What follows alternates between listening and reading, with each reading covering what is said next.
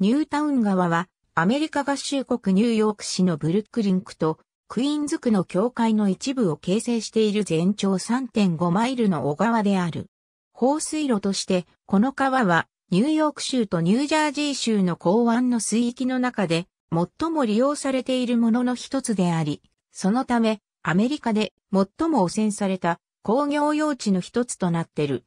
これは長年にわたる排気毒素、グリーンポイント石油流出事故などによる推計30メートルガロンの流出油、ニューヨーク市の下水処理施設からの未処理下水、及び1491の地点からの他の蓄積物などによる。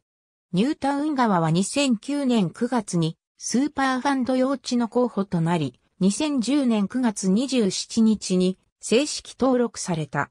ニュータウン川は47ストリート及びグランドアベニューの交差点近く、クイーンズとブルックリンの境界上のイーストブランチとイングリッシュキルズに分岐する、地点北緯40度43分06秒西経73度55分27秒、北緯40.718412度西経73.924127度、40.718412-73.924127から始まっている。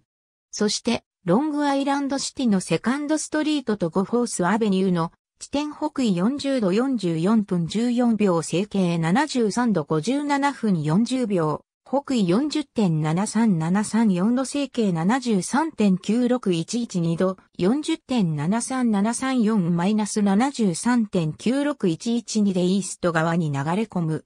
この川沿いとその支流ダッチキルス、ホエールクリーク、マスペスクリーク、そしてイングリッシュキルスの沿岸は高密度に工業地帯化している。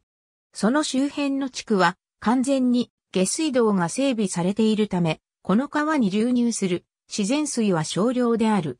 この川から流出する水量は年間14メートルガロンで合流式下水、都市流出水、未処理下水、及び工業排水を含んでいる。この川の大部分の水流は停滞しており、厚さ15フィートの汚染されたヘドロが川底に凝固している。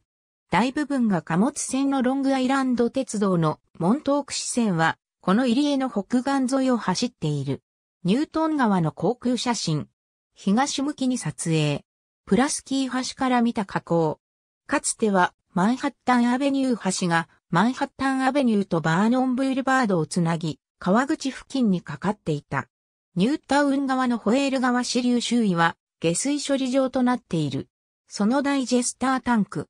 グリーンポイントアベニュー橋から見たニュータウン川。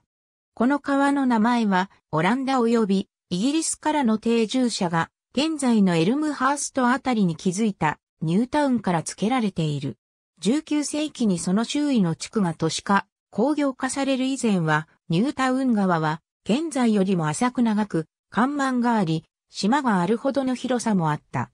この川は、現在のブルックリンクのブッシュウィック、ウィリアムズバーグ、グリーンポイント、及びクイーンズ区のマスペス、リッチウッド、サニーサイド、そしてロングアイランドシティを排水していた。19世紀後半になると、この川は主要な工業用水路となり、現在でも深刻に汚染されている。